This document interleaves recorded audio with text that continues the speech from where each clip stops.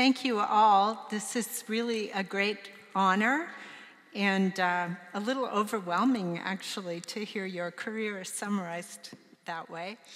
Um, so, thank you all. Thank you, Mark. Um, and uh, thank you for being here. Uh, I see a lot of really distinguished economists in the audience. I uh, feel like I should say that I was told that this should be as non technical as possible, and it will be. So, uh, if you'd like to see equations or anything like that, we can talk at the reception. Uh, so, I'm going to talk about a, a, research agenda on child mental health as human capital. And in particular, I'm going to focus on the link between education, since we're all in the business of education, and child mental health. Uh, after talking a little bit about that link, then I'm going to turn to interventions, and I'm going to talk about four different types of interventions supporting pregnant women, early childhood programs, improving mental health treatment, and lastly, uh, something which is not that well developed, but which I think is very important, is potentially working directly with schools. So, this link between mental health and education, as, as Mark noted, is something that we worked on together um, for quite a while. A first question was just well, if you have a bunch of young children with a, um, thank you, with a mental health screener, how predictive is that of their future outcomes? So we used Canadian data on 4 to 11 year old children and just asked the question how do scores at time t predict educational outcome years later? Um, a, a, key sort of feature here is that we were able to compare siblings with different scores on these mental health indicators in order to try and control for family background characteristics. And that was a, a step further than some of the previous evidence, which had used cohort studies to look at longitudinal data. Uh, so, for example, work in the UK using the National Child Development Survey had shown that very early childhood mental health scores predicted education and earnings at, at, at, at 23 and 33, I don't know, that may have made things worse.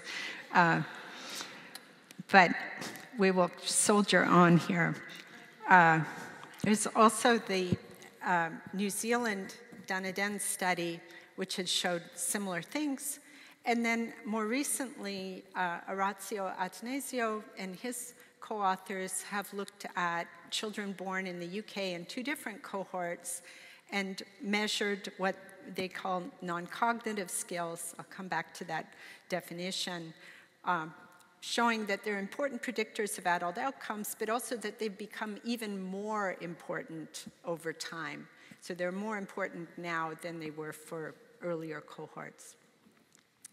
In any case, going back to this Canadian and US data, um, this is from those studies with Mark showing uh, different outcomes. So on your right, you have outcomes for the US. On the left, outcomes for Canada.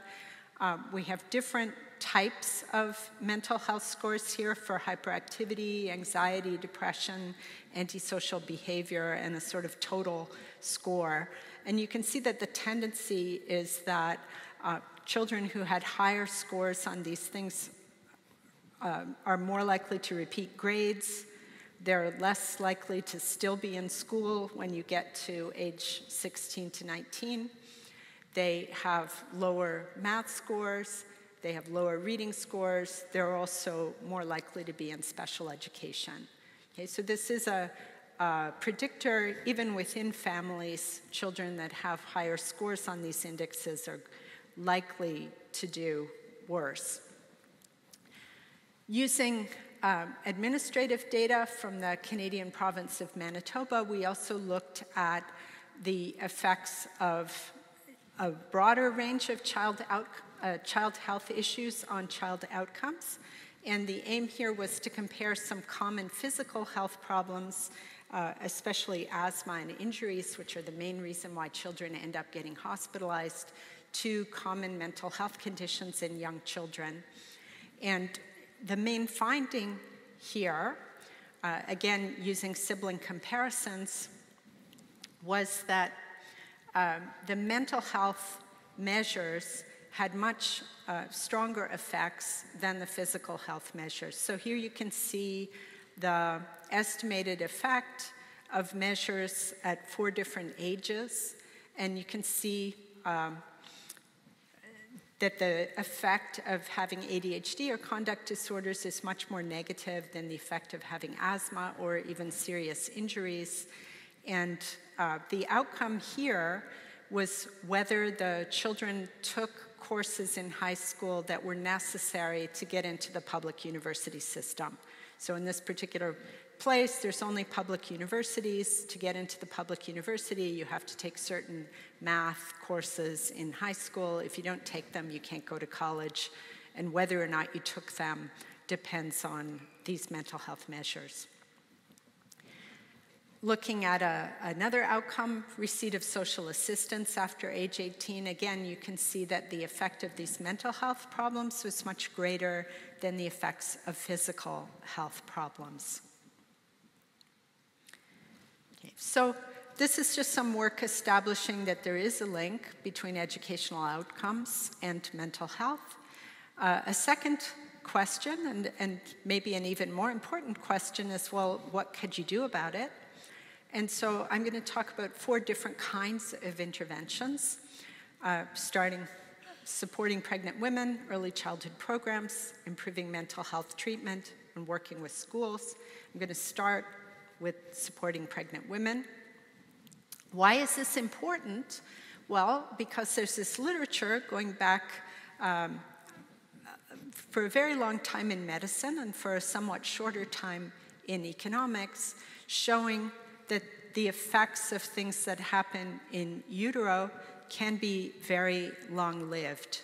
Uh, and these could be shocks having to do with pollution exposure, nutritional deficits, maternal stress, uh, and so on. And a, an important thing that comes out of this research, I think, should be a shift away from a kind of classic paradigm in economics about nature versus nurture to thinking about the fact that both nature and nurture matter, right? We never see, well, almost never see things which are solely nature or solely nurture. It's always some sort of interaction effect. Just as an illustration of that, this is from a study that I did with Enrico Moretti looking at the relationship between birth weight in mothers and birth weight in children. So the birth weight of the mother here is along the x axis, the birth weight of the child is along the y axis. And so the flat part of the graph that you can see are mothers who were low birth weight. And um, the interesting thing, or what I'm trying to highlight here, is that if the mother was reasonably well off at the time that she gave birth to the child, that's the top line, the child's birth weight is higher regardless of what the mother's birth weight was. Okay, so there, there is a relationship between mother's birth weight and child's birth weight, but that relationship is mediated by the uh, socioeconomic status of the mother at the time of the birth.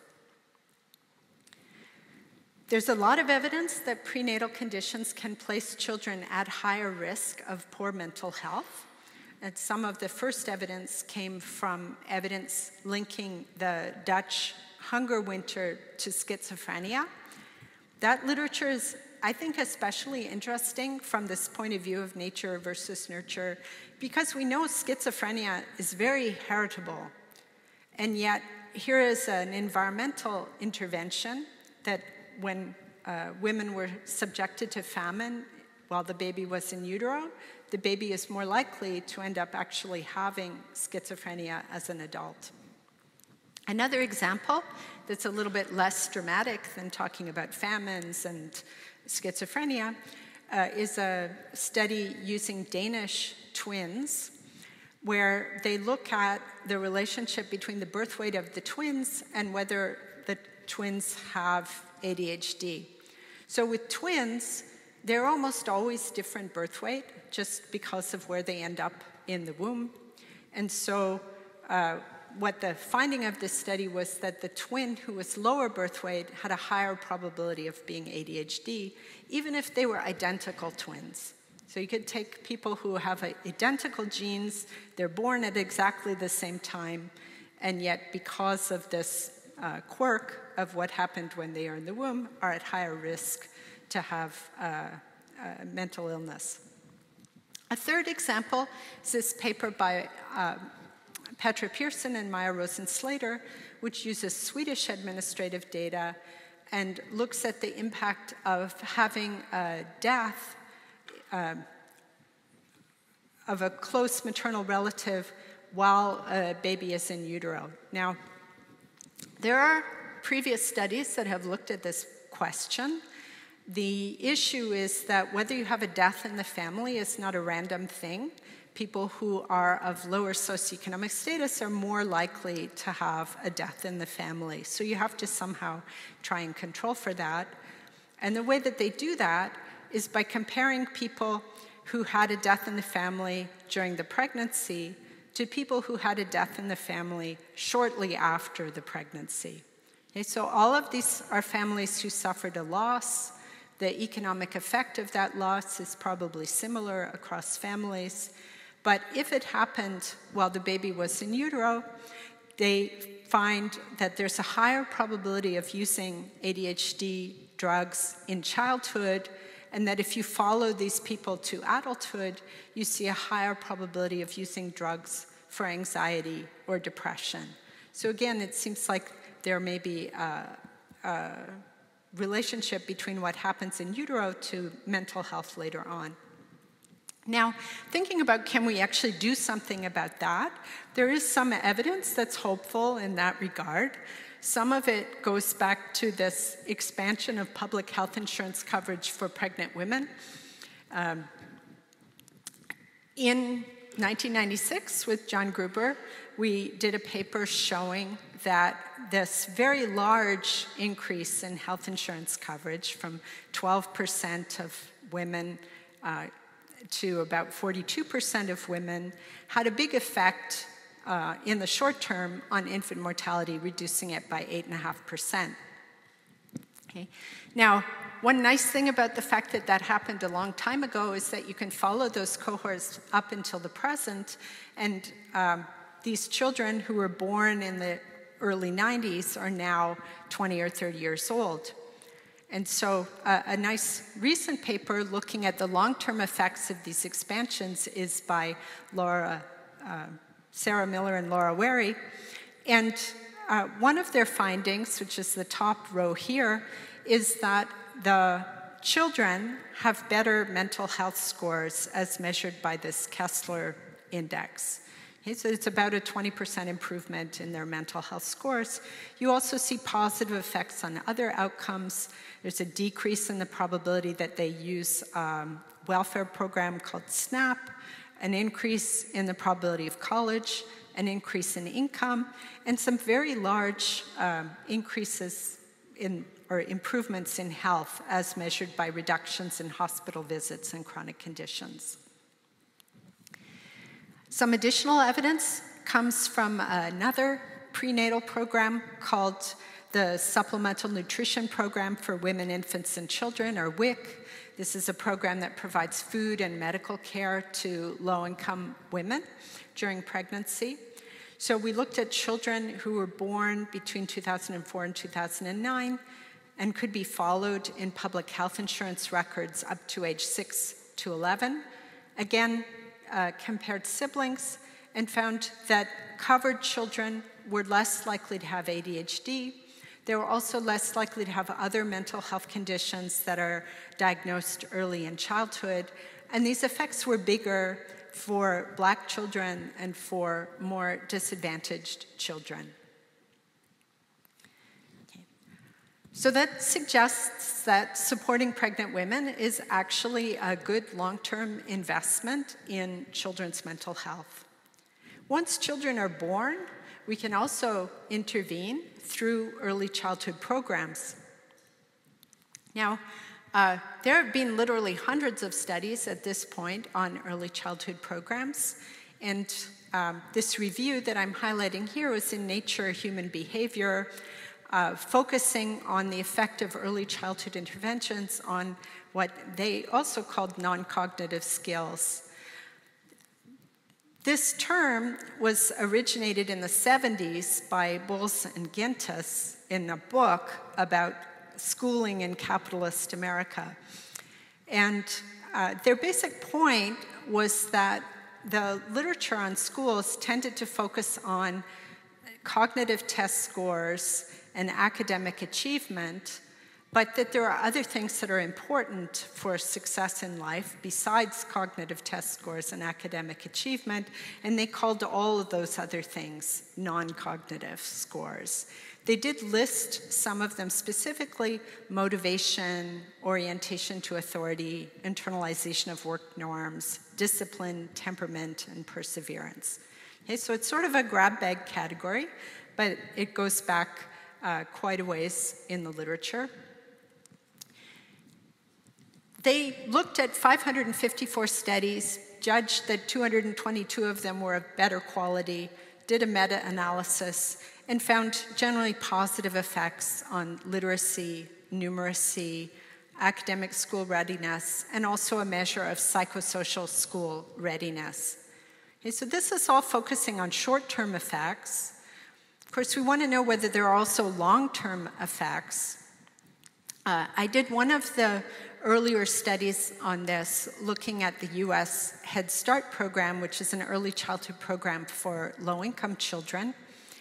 And uh, we showed that there were positive effects. Here, uh, this is illustrating positive effects on the probability of attending college.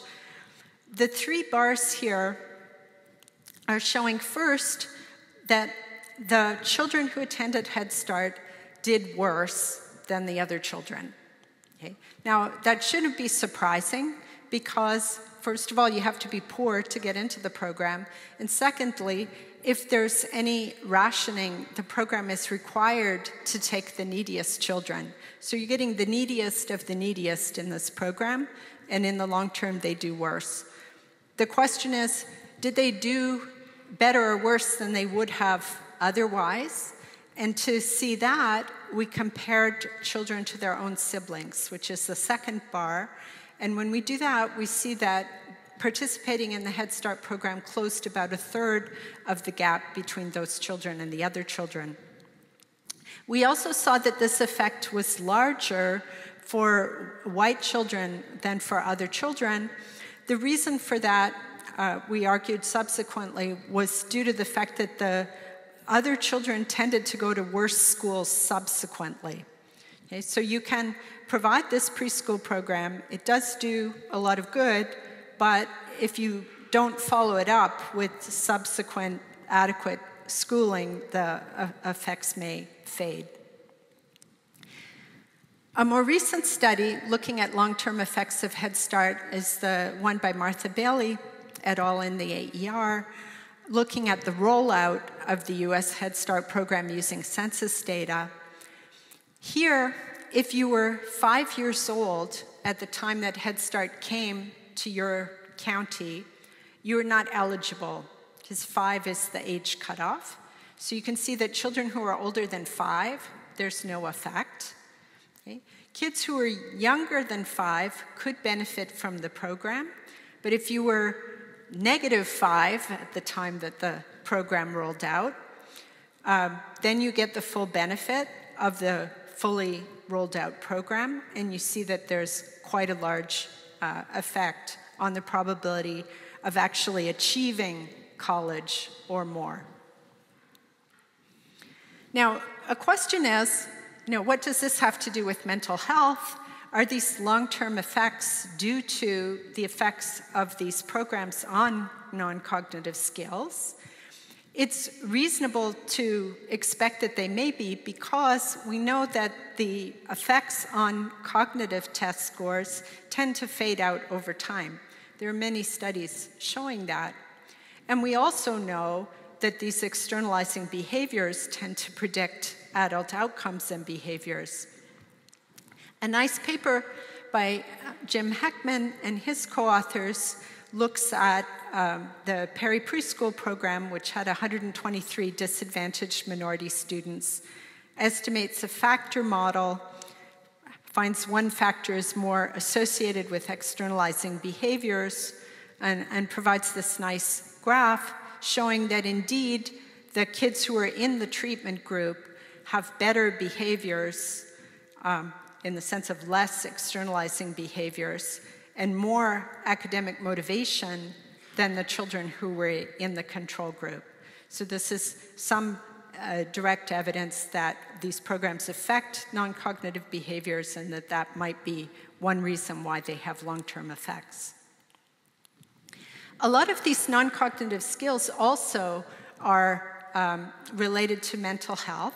So, uh, another example of that is a paper by Per Anders Edin and his co authors documenting labor market returns to these non cognitive skills using Swedish registry data on male draftees.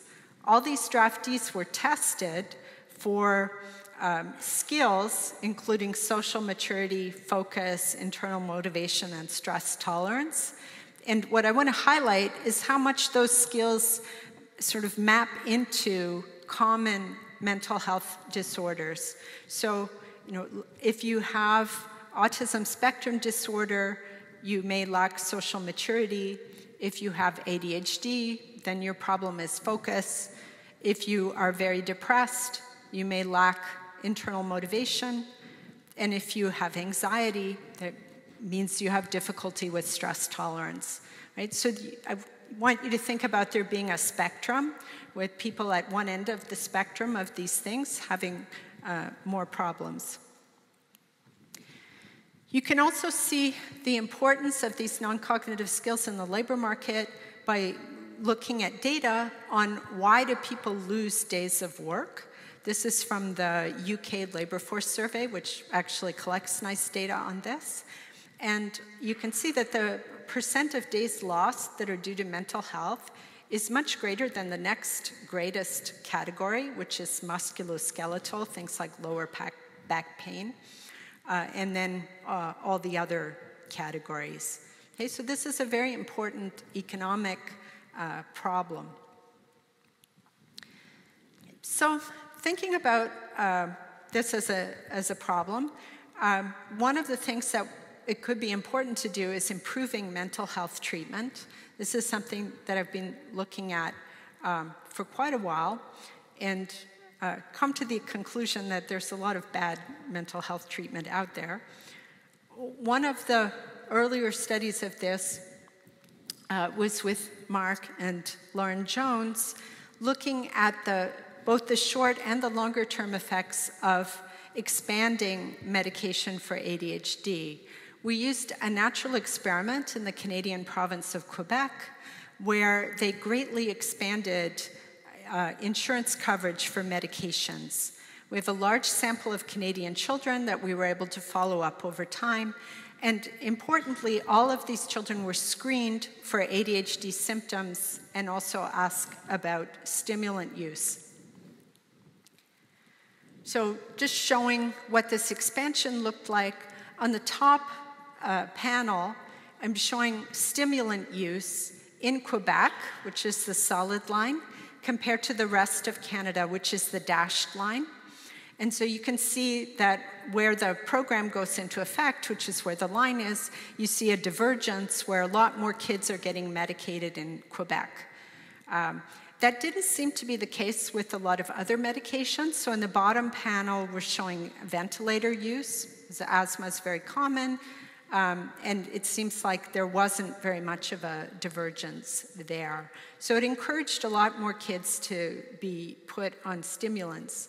And then when we look at the effect of that by following the same child over time, before and after, we see that um, the effects on uh, the things that we were measuring were mostly negative. So we find a, a decline in the probability that they went without repeating grades. We see a big uh, effect in terms of whether they say that they're unhappy. And then in the longer term, when we look at them as young adults, we see they are less likely, slightly, to have completed high school, less likely to have done any post secondary education, and more likely to report depression. So that's sobering. Um, why might there have been so many negative effects? One is that the care that was provided was probably not optimal, it's community care. Um, a second thing is that the children who started stimulants after 1998 were not the children who had the highest level of symptoms. Those children were already being treated. So the marginal children here were children who had relatively low levels of symptoms but get treated with medication anyway. Uh, and this could have had negative effects by increasing stigma or the probability that they were in special education and it's also possible that just if the child stops acting up in class, that they get ignored instead of um, getting additional resources to help them learn. And finally, it's possible that stimulants could actually uh, have effects on other mental health outcomes.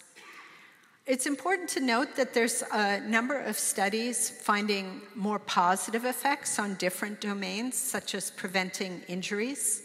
So the papers that I've listed here all use a research design where they use variation in doctor prescribing patterns. It turns out that for most medications that you look at, there's some doctors who prescribe a lot more than others. So, children who happen to see those doctors are going to be more likely to get medication. And these studies all find reductions in injury rates and reductions in other types of risky behavior. So, the drugs are actually having an effect on, uh, on behaviors and outcomes, but just not on the educational outcomes. Okay, so what determines variation in whether children are diagnosed and treated? Uh, there are a lot of possibilities. One could be screening guidelines. You hope that doctors are going to follow them. Uh, and when the guidelines change, then maybe behavior would change. There's also changes in diagnostic criteria, changes in doctor behavior, uh, and things like reimbursement methods could possibly matter. In a paper with Anna Chorniy, we actually looked at the uh, reimbursement part of it and looked at the effect of switching to a capitated payment system in South Carolina's Medicaid program. So, capitated system means the doctor gets one payment, and for that one payment, they're supposed to provide all the care that you need. Now, that provides an incentive for undertreatment. So, to ensure against that, the contract specified that the uh, insurers would be penalized if the doctors didn't do well child screenings, and also said that the plans would be paid more if the child had a chronic condition. And what we see uh, when we look at uh, event studies is that the well child screenings go up, and right along with that, the number of children being diagnosed with ADHD goes up. Okay, so if you screen more, you're going to find more. Looking at the same child before and after this change in the payment regime, you also see that the same child is more likely to be getting uh, well child screenings, developmental screenings, even vaccinations which is kind of shocking because they should have all been getting vaccinations. And looking at chronic conditions, they're more likely to be diagnosed with ADHD, they're more likely to be diagnosed with depression, but they're also more likely to be diagnosed with physical health conditions. Okay, so the effect of uh, screening more can be pretty profound in terms of the number of, um, or the incidence of conditions. Another example of that that I've been working on recently is looking at trends in suicide related behaviors. So, this is using data from New Jersey on all teens who showed up at a hospital and were diagnosed with some sort of suicide related behavior. And so, what you can see is that the suicide deaths over the period that we're looking at are flat. They're a bit noisy because New Jersey's kind of small. So the brown line here is showing suicide deaths in the entire Northeast region, also kind of flat. But the blue line there is showing the suicide related hospital visits. Okay, so the outcome is staying relatively the same, but the number of people being diagnosed is going up. Now, why is that? Uh, two possibilities that I've indicated here with the vertical lines are that in 2011, a new guideline came out saying that all girls should be screened for depression. And you see an uptick there. And then in 2016, a guideline came out and said that you should always code suicidal ideation as a secondary diagnosis if it is present. And that was a new instruction for clinicians. Okay, so looking at the first thing, the screening thing, what you see here is if I look by gender, that uptick in 2011 is only for girls and not for boys, so directly coincides with this guideline that you should start screening for depression. If you screen for depression, part of that is that you ask about suicidal ideation. So they start screening people and they find more. Okay? And then looking at uh, breaking down the suicide related behaviors, what you can see is that most of the increase in suicidal behaviors being recorded is from suicidal ideation, and it occurs after they start telling clinicians to code suicidal ideation. Okay, so in a way, this is a very dark topic, but in a way, I think this is actually good news and, and not bad news in the sense it's saying at least some of this trend in increasing suicidal behaviors is because people are paying attention and screening and coding things that they weren't asking about before. Okay, so um, conditional on diagnosis, there is a wide variation in mental health treatment. So some of the work I've been doing recently is looking at mental health treatment and outcomes in children who all have private health insurance coverage. So differences here are not because some children are insured and some children aren't. We look at uh, the first mental health episode, which is a useful thing that you can do with children if you're following them over time.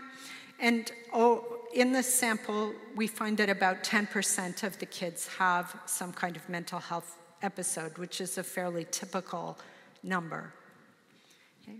So, the first thing that we see is that there's a lot of kids who don't get any treatment. So this 29.4% is, you know, you get some diagnosis, and then after three months, you're still not getting any treatment.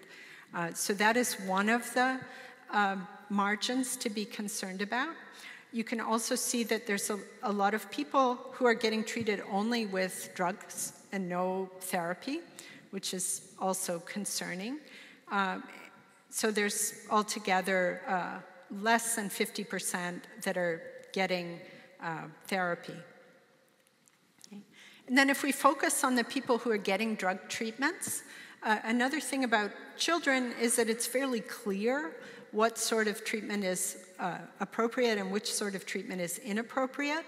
So I focused here on uh, four types of treatment that are kind of inappropriate. Um, the first is whether they get benzodiazepines. So you keep in mind these are like 12 year olds who are getting treated for the first time. This is an addictive drug and also one that's dangerous, but 15% are getting that. Uh, 13% are getting a drug that hasn't been FDA approved for use in children. Um, a smaller share are getting these older tricyclic antidepressants, which again are not uh, advised for children. And then 13% of them are actually getting multiple drugs, even though it's the first time that they've ever been treated. So, on the whole, uh, uh, you know, almost half of the treatment is clearly inappropriate that these children are getting. Uh, another way to look at variation is just looking at a map. So, this is a map of antidepressant drug use uh, across the US. All the little squares here are counties, and the color coding is such that the darkest uh, amounts to almost one prescription per child per year in the county, whereas the lightest is zero. So you're going from zero to, to one per child, depending on where you are. And so, um, looking at this variation in treatment and what the consequence is, we uh, do the same thing where we're looking at the first uh, time that somebody was ever treated. We look at the variation in treatment using provider supply and also provider practice styles, so basically whether people prescribe a lot or not, as uh, instrumental variables to try and explain the variation in treatment. And uh, this uh, tree diagram is showing what we find. Here, the outcome is self harm, so whether the child has hurt themselves after 24 months. And what you see is that um, if they use drugs during treatment, it's actually slightly less likely to have harmed themselves, but it depends a lot on what kind of drug that they use. So here, what I'm calling the red flag drugs are those ones that I called out in the pie chart as being clearly inappropriate. And then uh, you also have the FDA approved drugs for that condition. And so you see the probability that the child uh, self harms is lower if they were prescribed an FDA approved drug than if they were prescribed one of these red flag drugs. And actually, it's lower with the FDA approved drugs than if they got no drugs, i.e., if they only had therapy. So, the last thing I want to talk about is what the implications of this might be for working with schools. And um, I think the important thing to recognize here is that school is a very difficult environment for some children. So, um, a nice paper that I want to highlight is this paper by Chandler that looks at German data, takes advantage of different holiday schedules in different parts of Germany and finds that school holidays cause a 16% decrease in the probability of youth suicide, and also that suicides spike in the first two days following the end of the school holidays. So it turns out this is actually not only in Germany, it's in many other countries as well.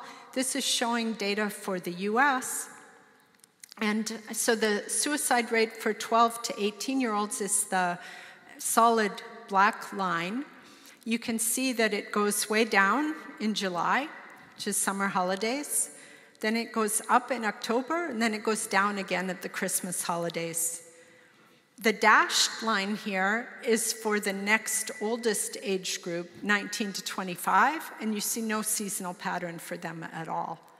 Okay, so this is very suggestive that it's something about school. This paper by Hansen, Sabia, and Schaller has a hypothesis, which is that this has to do with bullying in school. And so they, they show this evidence. Um, this is a very interesting thing to have done. Here, the red line is looking at uh, school foot traffic using cell phone data. So, using cell phones, they can see what days there were a lot of people at the school. And uh, they're doing this during COVID, as you can see. And there was a lot of variation across the US in whether schools were open or not. All the local school boards were doing their own thing and deciding when it would be open and when it would be closed. So the red line goes up and down depending on whether there were school closures or not. And then the gray line shows Google searches on uh, child bullying. Okay? And you can see how closely the red line and the gray line are following each other. Um, you can also see the, very dark gray bar is the first shutdown in March 2020, and then the uh, lighter gray bars are showing summer holidays. Okay, so again, you can see this clear decline in uh, searches related to bullying during the summer holidays, and then peaks um, at times when the school is open. You can also see this kind of thing in, in other contexts. This is from some work that I'm doing looking at the relationship of, the, uh, of schools and uh, specifically sort of high stressful points at school uh, entry and at uh, exam dates in Taiwan. Um, so here, what we've done is to look at children who were born in August and children who were born in September where the school starting date is September 1. So if you're born in August, you can go to school on September 1, and you're always going to be the youngest in the class. If you're born in September, you can't go to school until the next year, and you're always going to be the oldest in the class. Okay? So, what you see looking at the red line for the August born is that as soon as they go to school, there's this increase in getting diagnosed for ADHD.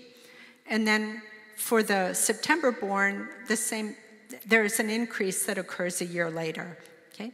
So the red line is always above the blue line. So there's a disadvantage to being the youngest in your class. Uh, but the time series pattern shows this increase on school entry.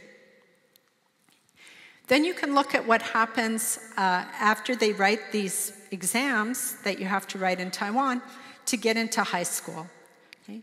And so you see that the medication for ADHD falls for the August born cohort uh, and then falls a year later for the September born cohort after the stressful event of having to write these exams is resolved. So I think there could be a lot more to do with um, thinking about how schools and maybe stressful events associated with schooling uh, play into these youth mental health problems. Okay. So, just kind of in summary, I think uh, there's been a tendency to think about child health as something separate from the whole schooling process. It's something that maybe affects adult health and then has an effect on adult outcomes. But I think that's not really the right model. The right model is one where there's a very clear relationship between education and child mental health. It goes both ways.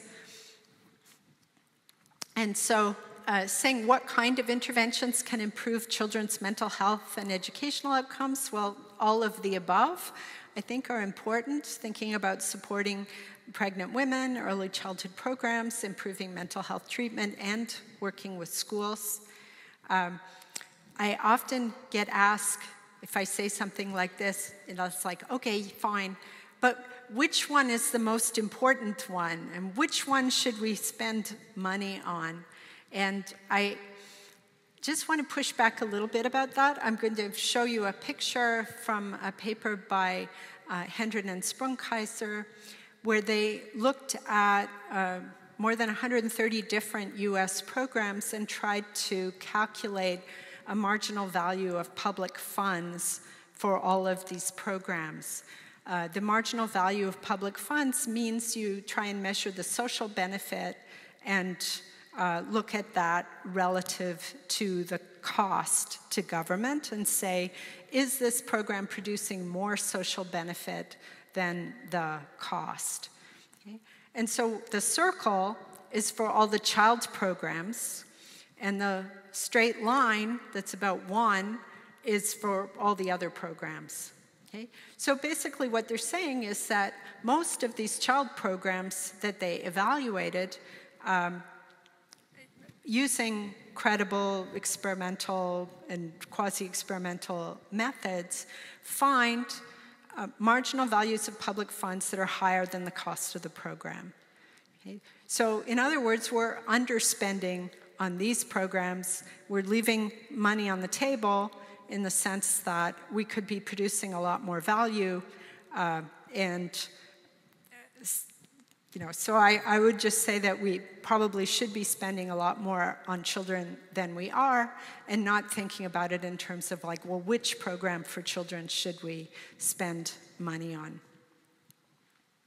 Okay, so in conclusion, I hope that I've convinced you that child mental health is important to educational attainment and also that the school environment may be very important for mental health I think efforts to improve mental health can address children's prenatal, early childhood, and healthcare environment, and that building on this foundation, schools may be able to also act to improve mental health and education outcomes. So, thank you all for uh, listening, and um, thank you.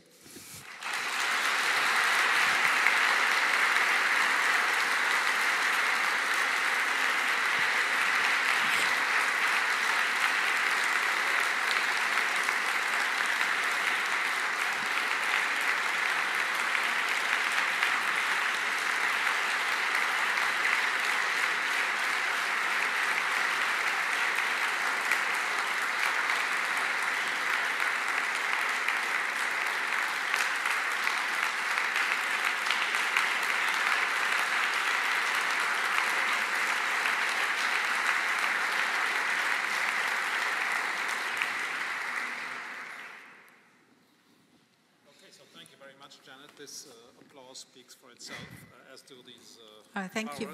Thank you very much.